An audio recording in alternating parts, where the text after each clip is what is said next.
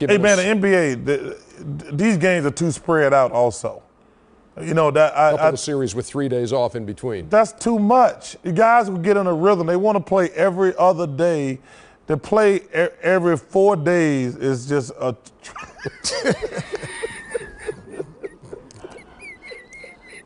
Go ahead, man. Ahead, finish your thought, man. Hey man, It's not like hey we hey hey NBA. TK got us both at once. I know.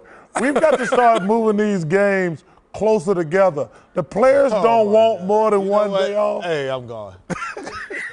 hey, ladies and gentlemen, I had to use the restroom, and this guy's talking too long. We supposed to be going to break, man. I'm Here's gone. I'll be back. This guy's taking too long.